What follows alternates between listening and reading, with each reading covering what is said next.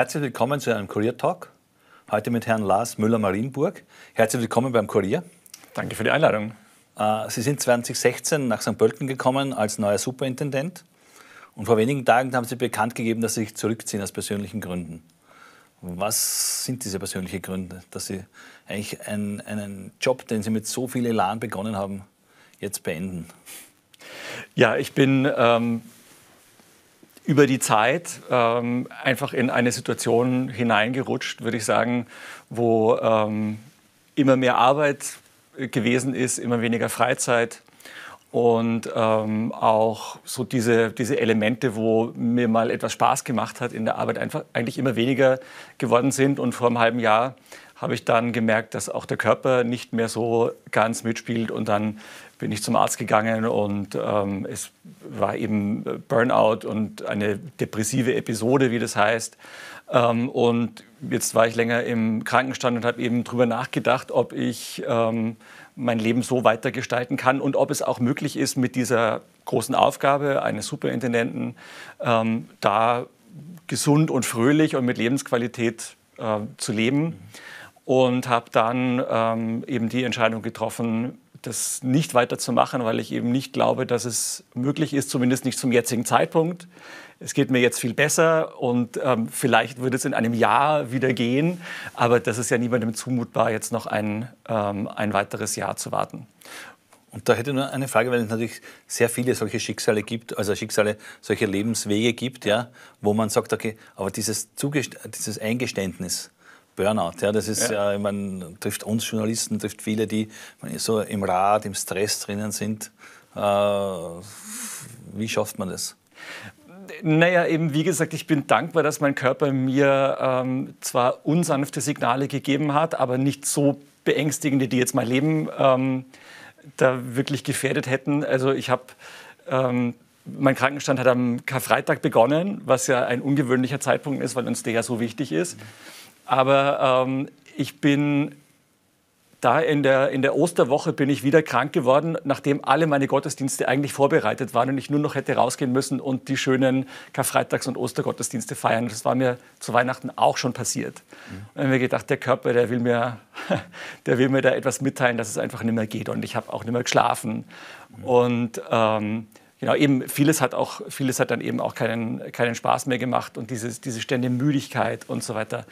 Ähm, und ich habe einfach auch gemerkt, dass ich wahnsinnig ungeduldig werde und ähm, wollte einfach mit mir selber nicht so, äh, so umgehen, dass ich von allem so wahnsinnig zornig werde. Und vor allem kann man das ja auch nicht machen, dass Leute dann anrufen, die überhaupt nichts dafür können.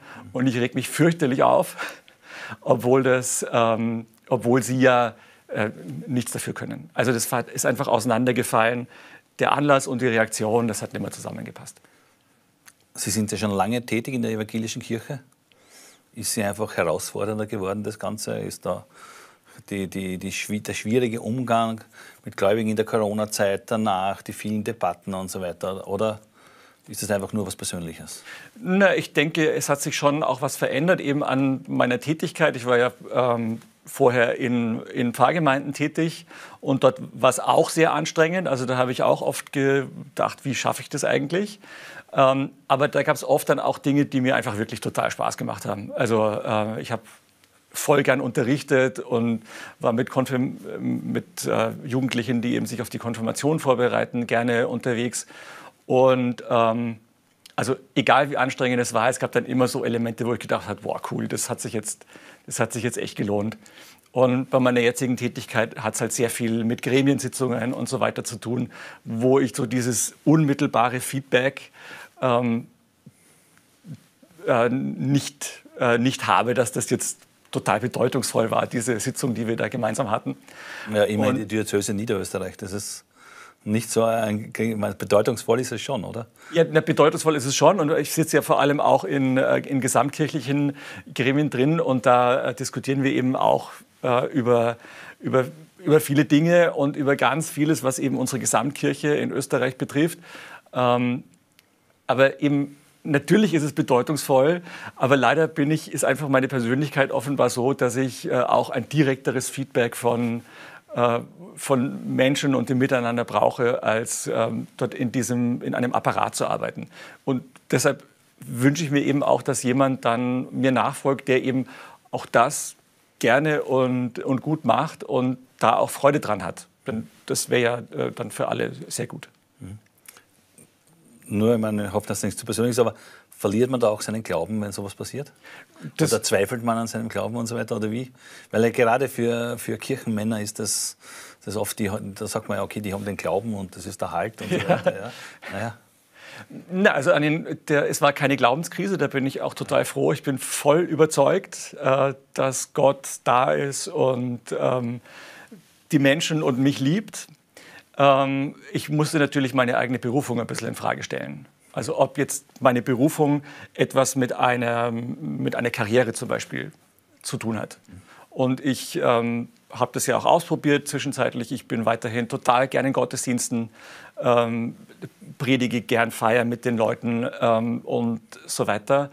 Ähm, und ich glaube, das ist weiterhin meine Berufung und ich möchte auch dann, nachdem ich jetzt dann nicht mehr Superintendent bin, noch den Status eines, äh, eines Pfarrers behalten. Also, dass ich weiterhin äh, predigen und Sakramente feiern darf und so weiter, aber eben nicht mehr jetzt im, im, im Dienst eines, eines Superintendenten. Ja. Wie haben Sie in der Zeit als Superintendent das erlebt, evangelische Kirche und Niederösterreich? Ich meine, eigentlich durch und durch eher ein katholisches Bundesland aber, glaube ich, ökumenisch nicht so schlecht aufgestellt.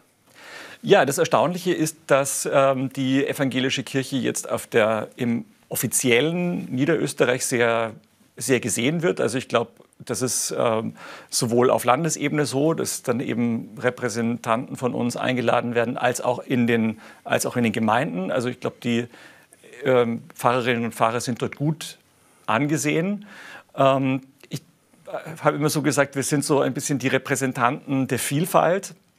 Ähm, obwohl wir also nur die viertgrößte Religionsgemeinschaft sind in Österreich, werden wir immer dazu eingeladen, ähm, damit man irgendwie sieht, es ist eben nicht nur es ist nicht nur der katholische Vertreter da, sondern es gibt auch noch was anderes. Und ähm, aus Gründen, die ich nicht genau kenne, werden eben die Evangelischen dazu eingeladen und nicht etwa ähm, Muslime oder Orthodoxe. Gut, das ist eigentlich Tradition in Niederösterreich gewesen. Es war beim Vorgänger so. Genau. Präsident Weiland und das war immer. Genau, es ist, es ist Tradition so. Ähm, es entspricht nicht mehr ganz der, der Wirklichkeit. Und natürlich gehen wir gerne hin und ähm, weil wir ja auch ähm, eben wirklich für, für alle Menschen eigentlich da sein wollen, selbst wenn wir nur einen relativ kleinen Teil an Mitgliedern haben in der, in der Gesamtgesellschaft. Aber ich habe äh, Niederösterreich eben als sehr schönes und vielfältiges Land ähm, wahrgenommen, wo ich eben glaube, dass es auch die Stimme der Religion auch in einer gewissen Vielfalt eben, eben braucht. Und deshalb bringen wir uns da gerne ein und das habe ich auch immer sehr gern gemacht. Mhm. Jetzt ist es so, wir haben geredet von der katholischen Kirche, die muss jedes Jahr ihre Zahlen zur Kenntnis nehmen. So und so viele Austritte, so und so viele Abmeldungen. Äh, wie sieht es denn in der evangelischen Kirche aus? Es ist prozentuell fast noch ein bisschen dramatischer bei uns. Mhm. Ähm, das hat auch damit zu tun, dass die Menschen schon, also seit der Reformationszeit, keine so enge Kirchenbindung ähm, hatten. Wir, unsere Überzeugung ist es, dass ähm, die Kirche an sich wichtig ist, aber nicht welche Art der Organisationsform.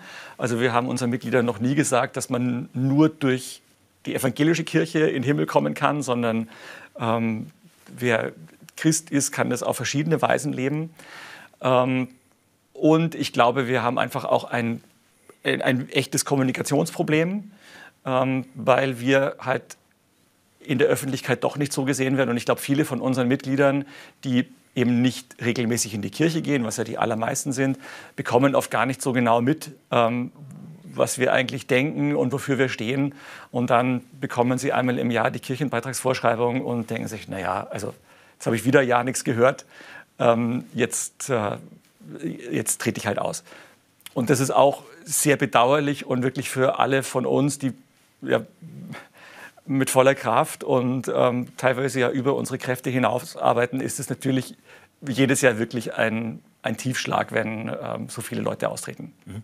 Es ist ja grundsätzlich auch so, dass wenn man den Vertrauensindex sich anschaut, jedes Monat, der herauskommt, die Institutionen, Kirche, Politik, Medien und so weiter, am hintersten, am Ende zu finden ja. sind. Ja? Ich meine, es ist diese, diese, diese, dieser Zweifel an den Institutionen, nicht mehr mhm. dieses Festhalten, diese Suche nach anderen halt. Wie haben Sie das erlebt? Ja, ich glaube, es gibt äh, in Österreich schon einfach hat es schon damit zu tun, dass es über ähm, sehr lange Jahrzehnte, ja Jahrhunderte einfach eine sehr massive eine Religionsgemeinschaft gab, die das sehr stark geprägt hat. Und ähm, ich glaube, viele Menschen haben einfach keine so große Sehnsucht mehr danach, dass es eine so starke, ähm, sage ich mal, römisch-katholische Kirche gibt. Ähm, und gleichzeitig ist, hat man nie irgendwelche Alternativen gesehen, wie denn äh, Religion eine sonstige Rolle spielen kann. Ähm, und ich fürchte eben auch, dass die, dass die Meldungen, die oft über die römisch-katholische Kirche eben kommen, ähm, dass die zu, einem Gesamt, zu einer Gesamtstimmung über Religion im Land beitragen, für die wir jetzt, glaube ich, oft gar nicht so viel, so viel können.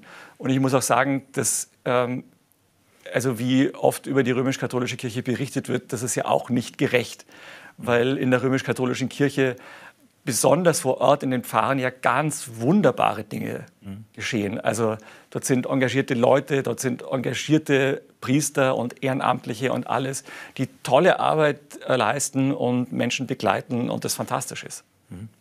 Äh, Sie haben jetzt für sich einen Schlussstrich gezogen als Superintendent. Werden Sie weiter ein Kirchenmann in der evangelischen Kirche bleiben?